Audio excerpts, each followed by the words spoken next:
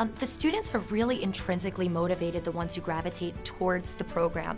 They do receive a grade, which is always something that they work for, but um, it's really ExploraVision because they know that there are the prizes involved, they work very hard and they want to see that end result. And luckily this year we were fortunate enough to make it to national winners.